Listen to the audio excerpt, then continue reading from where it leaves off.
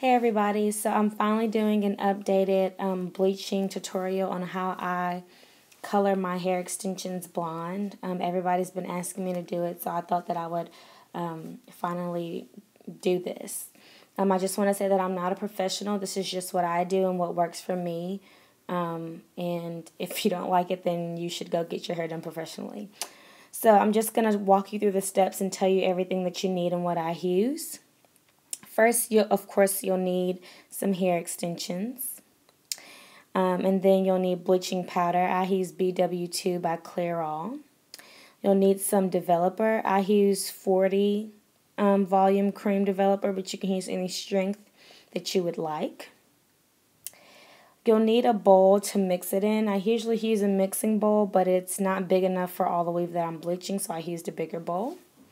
You'll need some brushes to apply um, the bleach with and the toner. And you'll also need some gloves to protect your hands from the chemicals. And so the first thing that we're going to do is mix the powder and the developer. And this is a very important stage in this process. You want to make sure that you follow the directions that are on the back of the bleaching powder to a T.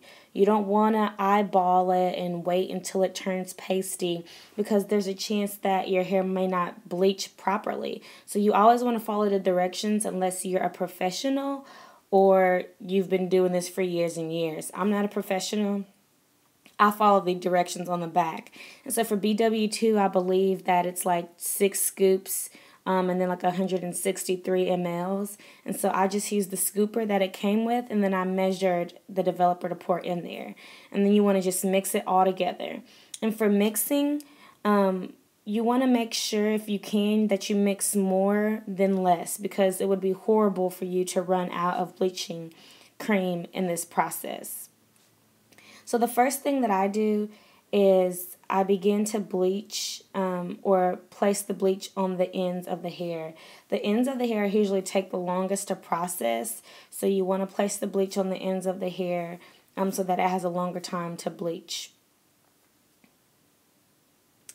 And so I just keep doing that over and over again. And, and also during this time, you want to keep track of um, the time that you begin processing the hair because you do not want to over bleach your extensions. That's very damaging to the hair.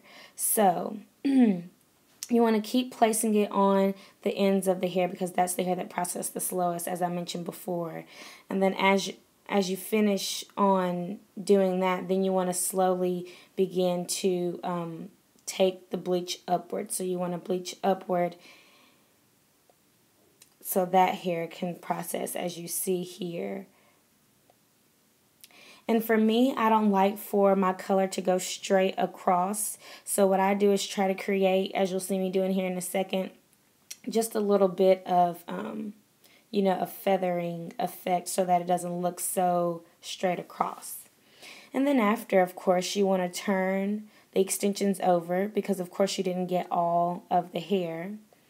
Um, you want to turn the extensions over and you want to begin doing the same thing like you did on the front side and you want to cover the extensions. And you want to just keep on until your extensions get covered as you see here in the video. You want to just keep on placing that bleach on the hair.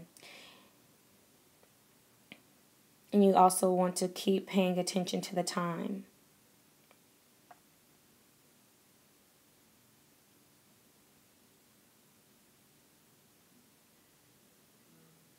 So after that, the only thing that I did is just roll the extensions up. Um, and after I roll the extensions up, um, I just leave it to the side to be processed. And I did that for every bundle of hair that I used, and I used four bundles. Okay?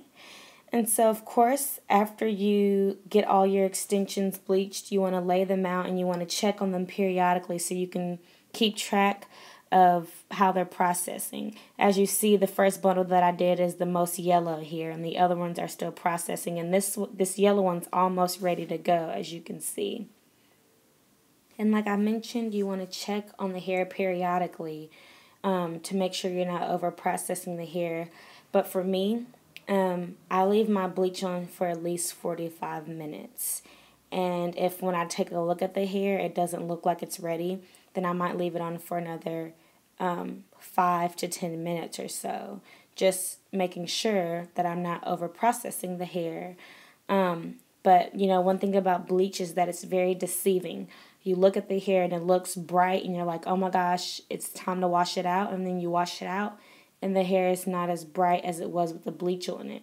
The bleach makes the hair look blonder. So you want to keep that in mind when you're washing the hair. You want to pay close attention to that when you're watching the hair, not washing. Sorry.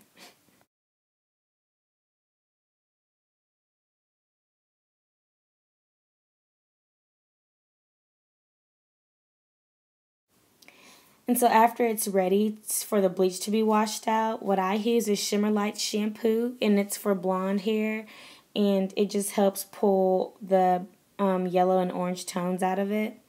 And so after you wash it, it should look like this yellowish color right here. And at this point, this is when you would decide to either tone the hair, to take the brassiness and yellow tones out of the hair, or you can just get some blonde dye. And I don't mean like dark and lovely blonde dye, I mean like um, Caucasian or white people, when they dye their hair blonde, that would turn this hair a blonde color. But for me, I tone my hair because um, I don't know, I just like to tone it, but I have used dye before and it works fine. So I use Weller, Weller, Wella Color Charm Toner and I can get that from Sally's. And then I use Red Gold Corrector Plus, which you can also get from Sally's. So like I mentioned before, you want to pay attention to the directions on how to mix these, you know, bleaching and toning products properly. So for this Wella Color Charmer, I'm going to be using two bottles. Um, and I'll sh show you here how I mixed it. It's one part toner, two parts developer, which means you pour the toner in and then you want to pour double the amount of developer. And so that's what I did here. As you can see, I made a little mess. I spilled it. Um, but it doesn't matter if you spill it or not. So you just want to pay attention to how much developer you're adding. And so I added a little less this time since I added way too much the first time. You just want to pay attention and go slow, as I didn't demonstrate the best here. Okay, and so after you add the developer to the toner, you want to begin um, adding the drops of the Gold Corrector Plus. Now, they have specific suggestions on how many drops to use per like I don't know, per ounce or something like that. Um, and it's like 30 drops per something, but I just put like 60 drops in this and felt like that sufficed fine because that's the amount that I've used in the past. Um, so that's what I used. And so then you want to begin mixing it all together, okay? And the ending concoction, or what I call it, the ending toner, um, is going to end up looking like a purple jelly type substance. And so you want to mix it all in really well. You want to mix the toner in with the color corrector drops really well. You want it all to be a smooth consistency. And so after you got that, you want to take your extensions, see how yellow they look, and you want to begin basically applying that toner anywhere that you placed bleach or anywhere that you see color on the hair extensions. So that's pretty much all over the hair extensions. And you want to use the same method that you used in, with the bleach. You want to apply it to one side, and after that side is saturated, you want to apply it to the other side. Now, when I'm applying bleach, I don't completely saturate the hair because I want different tones of blonde. But when I'm applying this toner, I saturate the hair because even with the different tones of blonde, I want them all to tone. Okay?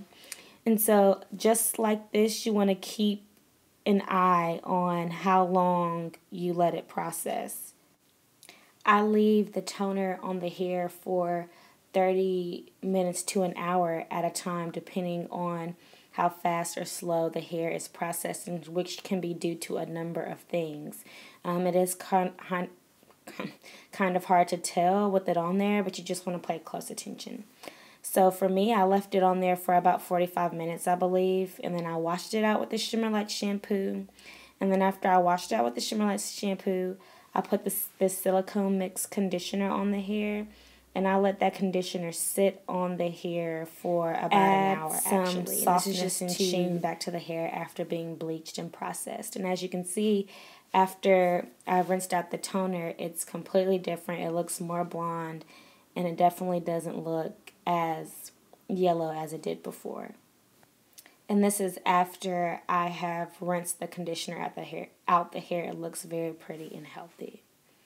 And so after letting the hair dry, this is the color of the hair extensions. It's a very, very pretty blonde. Um, and that's pretty much how I do this. So, of course, if you have any questions, please do not hesitate to leave them below. Um, of course, I put all the information about each product I used and where I purchased those products in the description box.